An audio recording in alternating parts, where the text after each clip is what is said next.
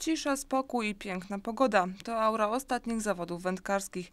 W miniony weekend na Słoku odbyły się spławikowe mistrzostwa koła nr 3 Górnik działającego przy Bełchetowskiej kopalni. Do rywalizacji stanęło 11 zawodników, wśród których znalazło się dwóch juniorów.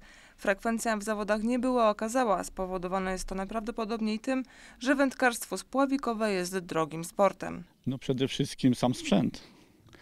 Przeciętnie wędka, sama wędka, a w granicach trzeba zapłacić 10 tysięcy, 8-10 tysięcy. Po stołek, to siedlisko całe, w granicach 4 do 5 tysięcy. Także i pozostałe jeszcze takie wspomagające topy czy coś takiego, to jest w granicach tak średnio około 20 tysięcy trzeba mieć, żeby wystartować. No i zanętę trzeba też trochę lepszą rzucić niż na jakichś takich zwykłych zawodach. Czterogodzinne zmagania dla seniorów oraz trzygodzinne połowy młodszych zawodników wyłoniły zwycięzców.